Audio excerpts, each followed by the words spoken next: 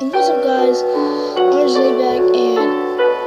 I'm in my room to tell you guys a big announcement. I might be changing my name. Like, not to PlayStation. Let me go there so you guys can hear me better. Um, yeah, see, like, I might be getting a PS4 and I have a PS3 right now.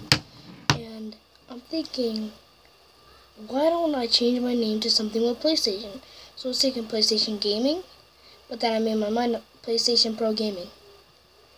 That's what I'm gonna name for now.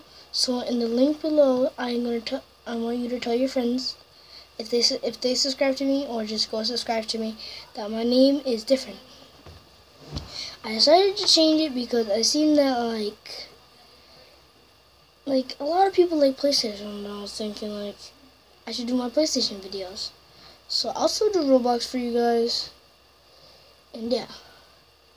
Yeah, I just wanted to think of changing my name because I felt like that you guys really like my PlayStation videos. I get a lot of views on them. A lot of them. I got, I think, 30 on the other one. And then on my other channel, I got 75. I have one video because I don't know how to, like, this is locked and won't let me upload videos.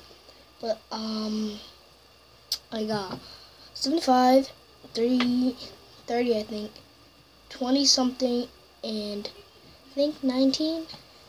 Yeah, but just a big announcement just to tell you guys that I was gonna change my name and didn't want you guys to be like, hey, where did the orange knight go?